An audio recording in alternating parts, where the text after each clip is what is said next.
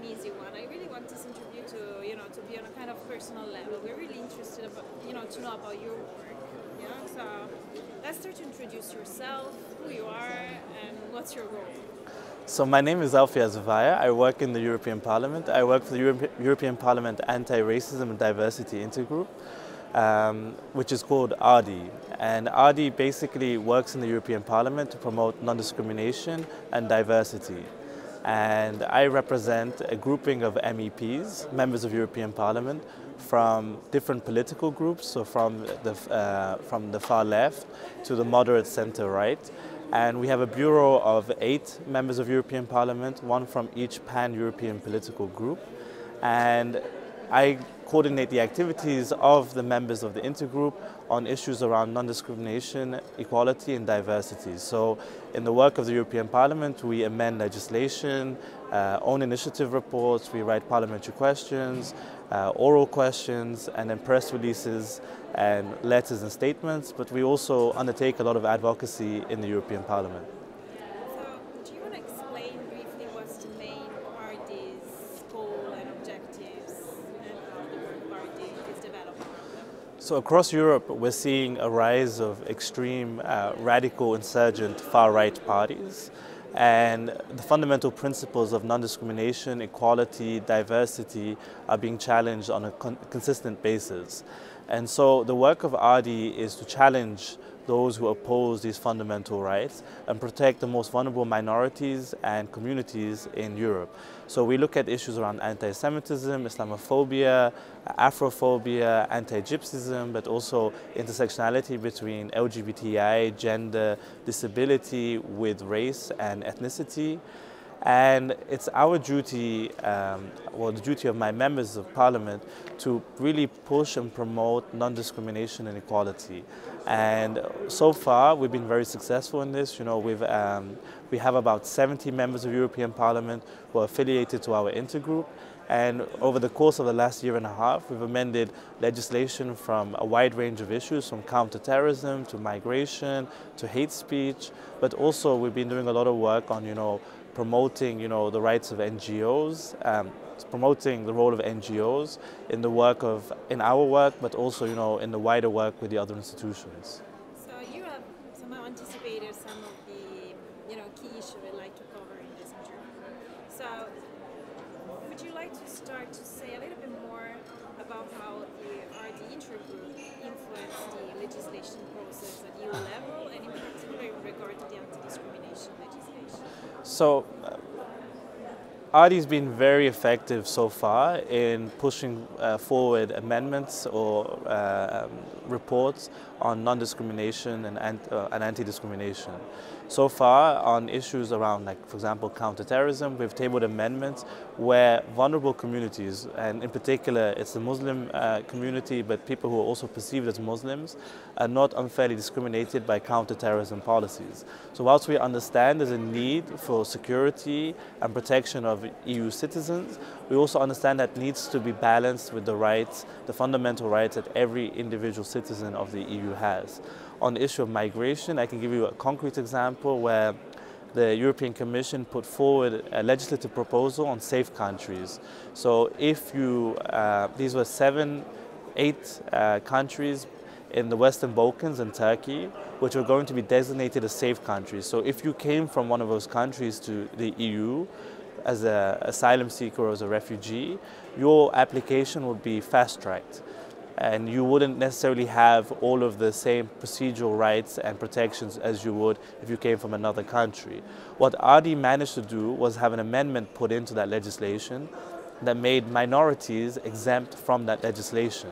So in effect, if you're a minority within those countries, the safe countries legislation wouldn't apply to you and you would be protected and you'd be given you know, a full uh, hearing of, uh, assessment on, your, on asylum and on your asylum process and not a fast track application.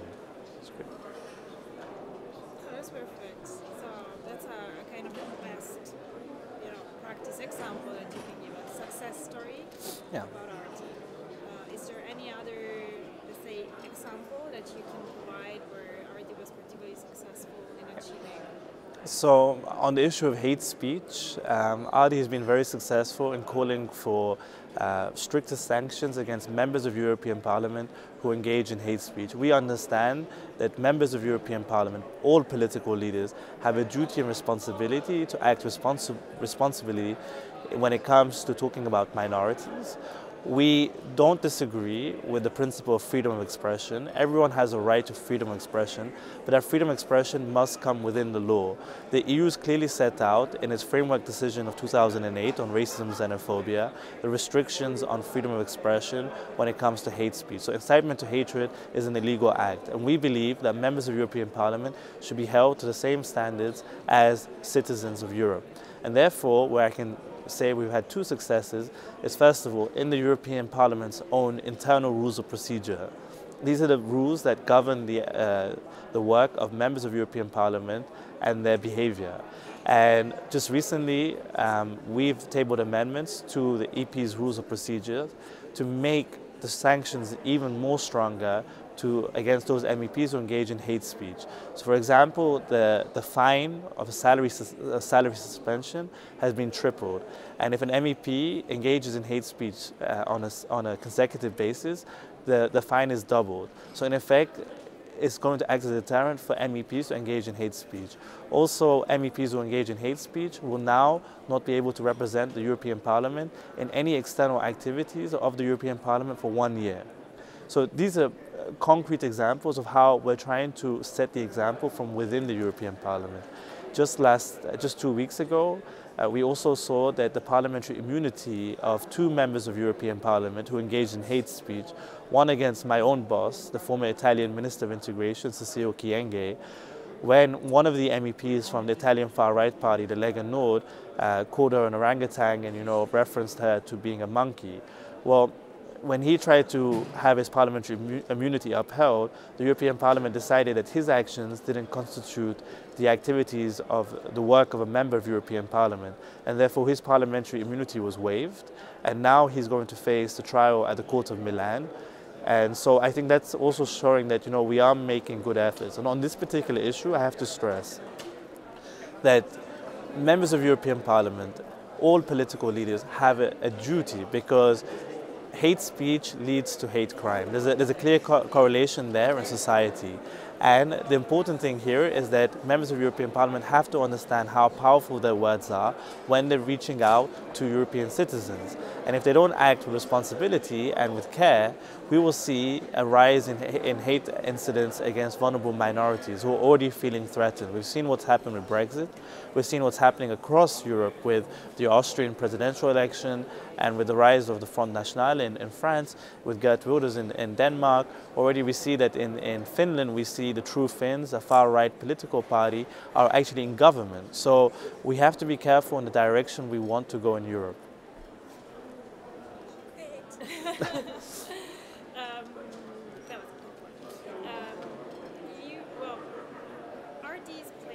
important role in making civil society closer to the European institutions.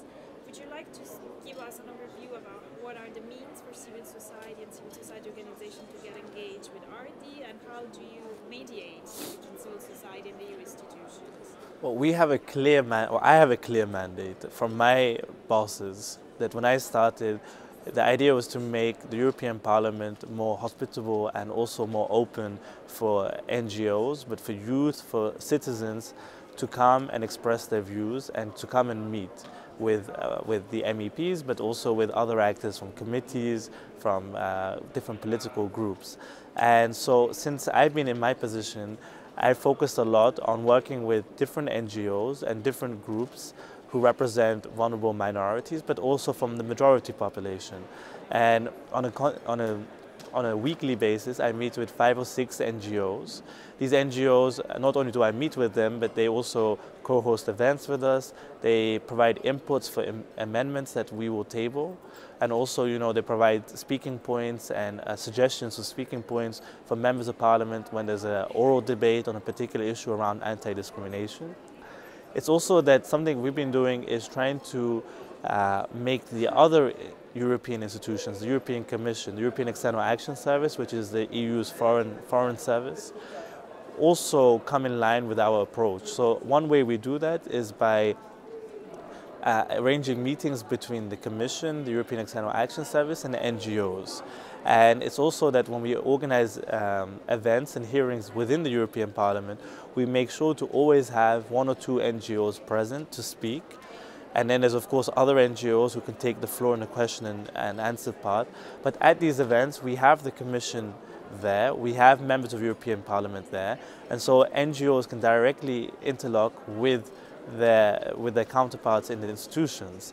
Now, I believe, and my, I know my boss's family believe, that this reach, this reach out has to be extended, and we have to go beyond the Brussels bubble, beyond the NGOs that are based in Brussels, but also in member states, because there's a clear conflict between what's happening at Brussels level and at member states level. And if we want better implementation, because the EU is often misunderstood. The, the role of the EU is to be a watchdog, but also to put forward legislation and policies.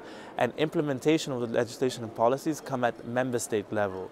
So when people take shots or when people fire aims at the EU in a negative way, it's often that the EU has legislated, but member states are not uh, implementing that legislation or policies. We see this with the Roma strategies. We see this with, you know, the framework decision on racism, racism and xenophobia. We see this also with the Victims' Crime Directive. That implementation by member states is not being done, and that's why it's vital that we get NGOs from the member states to come here, meet with us, so that they know which legislation and policies are available to them to, to push and lobby their government to you know, implement, but also to you know, up, uphold.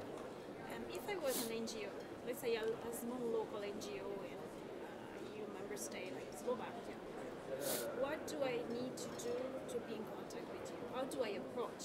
Okay, so there's a variety of ways that you know I can be contacted. And first of all, we have our website, um, which I think will be made available uh, in in the video but uh, also we have uh, social media. But then it is true that um, we have a mailing list, but that mailing list is normally from uh, people who I meet and you know taking their cards and their business cards. So what we would ask is you know for Brussels NGOs to reach out to their counterparts in member states to put them directly in contact with us, and that's one way they can reach out to us. Also on our website we have a specific area of the website which is a reporting uh, form. So if you know that of an incident in your member state or in your country where there's been racism, discrimination or other forms of intolerance, you can register it online on our form and that form will directly come to me and then I sit down with my bureau and discuss how we act upon that sometimes the case is that it's an issue that is not covered at EU level and it's a member state competence, so we can't deal with it. But if it is a, a competence of the EU, then we will take some action in our parliamentary work or non-parliamentary work to promote uh, or to raise awareness of that particular issue. Last question, and we're done. It's been so far. Um, could you say something about how ARDI interact with other EU institutions? So what's the in dealing with Commission, the Council, the So I think on a monthly basis, uh, we interact with other European institutions and also with other foreign ministries and other governments. So regularly I'm in contact with the US State Department, the British Foreign and Commonwealth Office and other member states uh, uh, representations here in Brussels, but also at uh, member state level. In terms of the other European, European Union institutions, I regularly meet with my counterparts from DG Justice, which is the, the Director General responsible for non-discrimination and equality.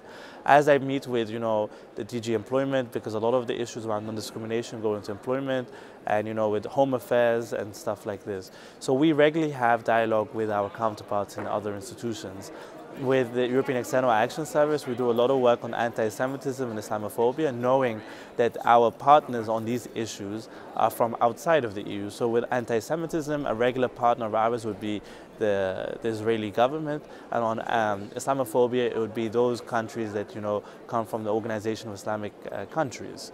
And we regularly work with the EAS to see how we can bring these partners on board to make sure that we hear the right concerns and the right concerns of, of these groups are promoted. So for example, anti-Semitism and Islamophobia, often we are, we're seeing a disconnect between what Jewish and Muslim people are feeling in Europe to what um, Jewish or Muslim uh, countries with majority Jewish or uh, majority Muslim populations are saying.